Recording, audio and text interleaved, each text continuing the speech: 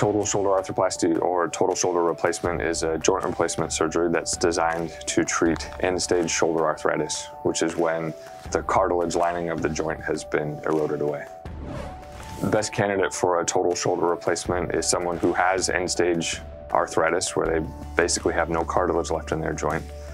In order for a total shoulder replacement to work well, uh, patient also needs to have good bone on the socket side of their joint, as well as a functioning rotator cuff. Shoulder arthritis can be treated by a number of different means, and the type of treatment that's best for each person is dependent on how bad their symptoms are, how bad their arthritis is, and what their goals of treatment are.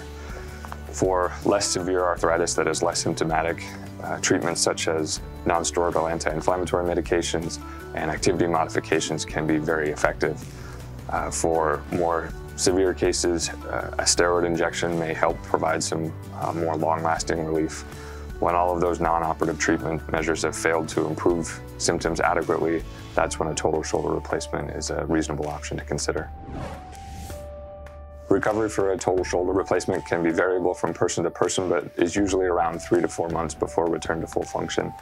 Range of motion exercises start almost immediately after surgery, and patients are allowed to use their arm in simple activities uh, throughout their day a couple days after surgery.